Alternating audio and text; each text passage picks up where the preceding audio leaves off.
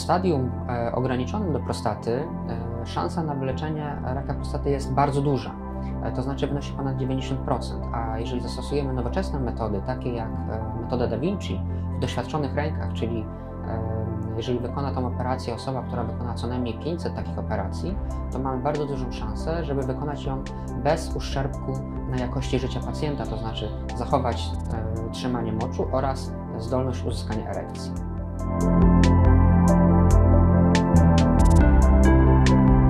Zachorować na raka prostaty może niestety każdy, dlatego że rak prostaty w tej chwili w krajach zachodnich jest już najczęściej występującym nowotworem złośliwym u mężczyzny, a czynnikami ryzyka są e, wiek, czyli im jesteśmy starsi, tym ryzyko zachorowania na tę chorobę rośnie.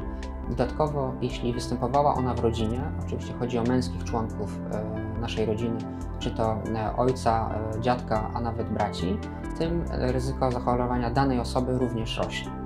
Dlatego osoby, u których występował rak prostaty w rodzinie, powinny badać się ciut wcześniej niż tak zwana standardowa populacja.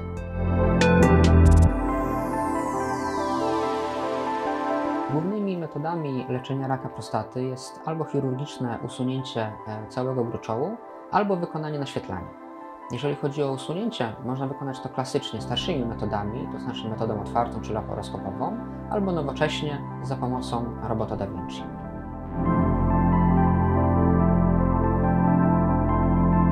Trudność diagnostyczna e, w raku prostaty polega na tym, że przebiega on najczęściej bezobjawowo.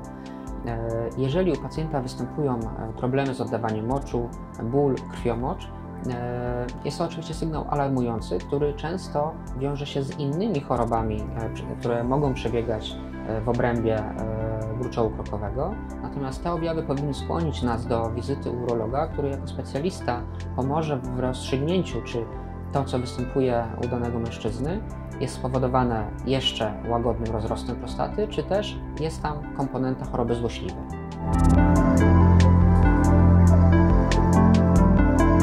Czym się różnią poszczególne e, metody e, operacyjne?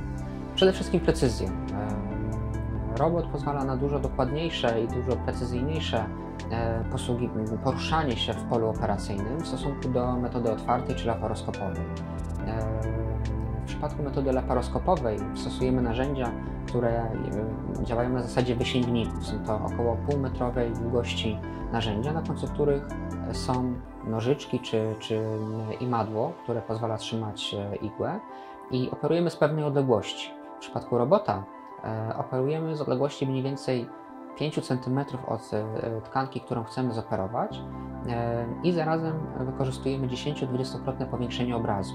Pozwala to nam milimetr po milimetrze bardzo precyzyjnie obchodzić się z tkankami leżącymi wokół prostaty.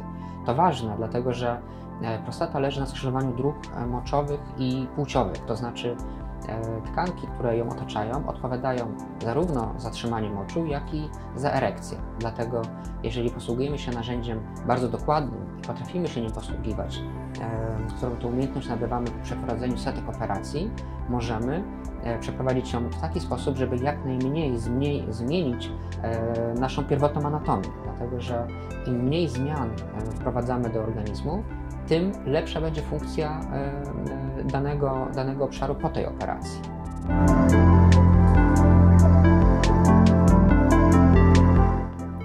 Badania naukowe, tak zwane metaanalizy, czyli jakościowo najbardziej wiarygodne badania, pokazują, że Operacja zastosowaniem e, robota Da Vinci daje e, dużo większą szansę na powrót trzymania moczu i na jego szybszy powrót niż operacje, e, operacje otwarte czy laparoskopowe. Podobnie jest z powrotem do sprawności seksualnej.